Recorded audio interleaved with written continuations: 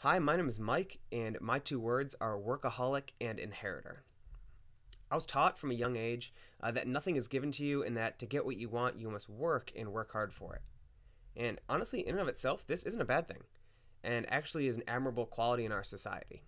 See, a strong work ethic is a good and respectable quality, and something that people should strive to have. So I'm not saying that that hard work uh, is bad and you shouldn't work hard at anything. However, my ability to work hard and to achieve whatever I wanted became the center of my life. This applied in pretty much every area in schoolwork, in sports, in trying to be friends with everybody, and, and most importantly, in my spiritual life.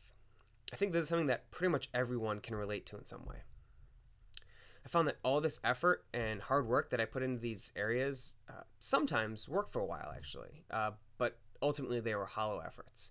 Uh, it, it felt like it was working for a while, and then when I uh, didn't get a perfect score, when I wasn't the best athlete in the state, uh, it started to feel empty like it was. Uh, there were probably a ton of people who really didn't like me as much as I wanted them to, so my efforts and my relationships were hollow. Uh, and my self earned sense of righteousness brought me no sure and, and uh, still fulfillment. See, that all changed though once I met a man, once a man named Jesus came into the picture. See, the way that I looked at it before is that if I do enough good things, uh, if I spend enough time at church, that Jesus would like me enough to let me into heaven. But the truth is, is that the work that I do is imperfect, sinful, and nothing compared to the work that Christ has done. See, the righteousness that you hear Christians talking about is nothing that we've ever earned from our own efforts. Righteousness is a gift that we are given through faith in Jesus and his work on the cross, dying for our sinful work that we try to call good. But this righteousness that we get was not free.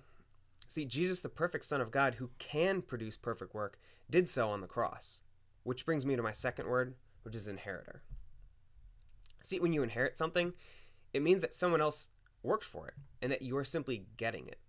See, all the work had already been done by Jesus. I just simply had to receive the gift that God was extending. So now my outlook on everything is completely different. See, I'm free to work hard in school and in a career and in my relationships, knowing that my eternity is secure. Now, I'm not saying that I still don't stress out about those things. I totally do. But I know that ultimately my inheritance is not in the things that I can produce myself, but is in heaven in the work that Jesus has already done. My name is Mike, and those are my two words.